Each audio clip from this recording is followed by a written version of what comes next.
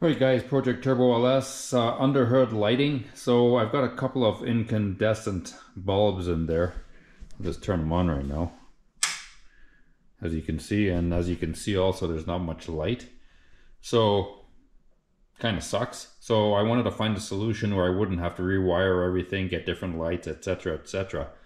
So the actual solution guys is just get, let me just pull one of these out here these bulbs here. You can see. Pull this guy out too. Real time here. You just get replacement. Hopefully you can see this. LED 6K bulbs. So these things, 6,000 lumens each, if you can see that, hopefully but yeah, so it's uh, I'm gonna I'll put these in right now, and uh, we'll see how much brighter they are. Okay. So, anyways, I the guy at the parts store didn't even know these existed, and you can see, they look the bottom fits into your standard.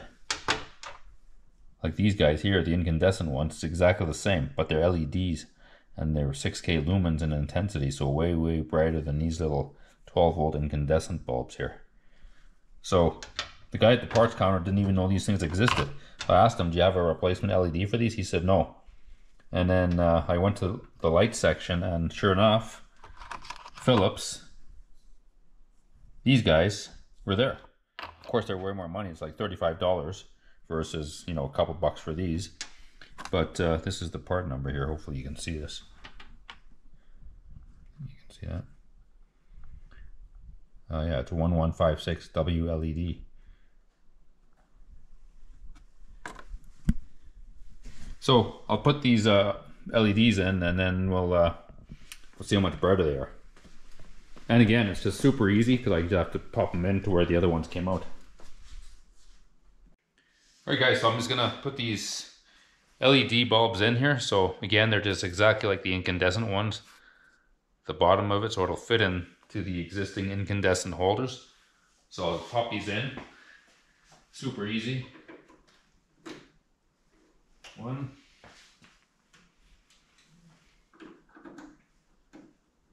Two. So let's just see how much brighter these suckers are. So I'll put it on.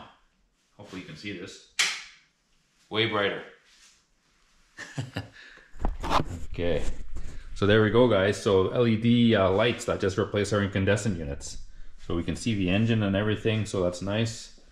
Yep, so that worked really good. So again, $35 Canadian, uh, a lot more money, but uh, definitely worth it. Since everything was wired, it's a lot easier. So I just basically screwed out, or basically took the old ones out, and then just put the uh, 6K lumen LEDs in there.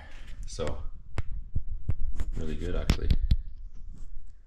So again, uh, easy solution. So just uh, if you have incandescent bulbs um, and you want more light, just throw some uh, LEDs in there.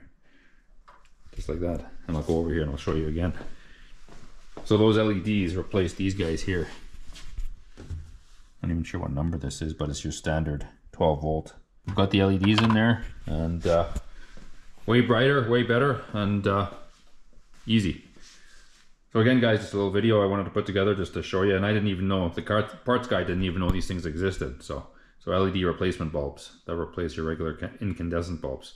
Anyways, guys, uh, thanks for the support and thanks for watching. We're putting new coils on this thing. They're coming tomorrow. So then we're going to be able to final, finally test this thing. So I think I was getting spark blowout because my spark plug gap was too big. And I've uh, lowered it now to 22 thou per hole on the spark plug gap. And we get the new coil, 60,000 volts, these things are 20 years old, so I wasn't sure of the history. They do work, but again, I've only been up to about 4 PSI. So we're going to get the new coils in here, and then we're to actually test it with some a lot more boost. So anyways, guys, thanks for watching. Again, just a video. LED lights, replacement, uh, replace, uh, or take place of the old incandescent one and way brighter. Anyways, guys, thanks for watching. Until next time. Thank you.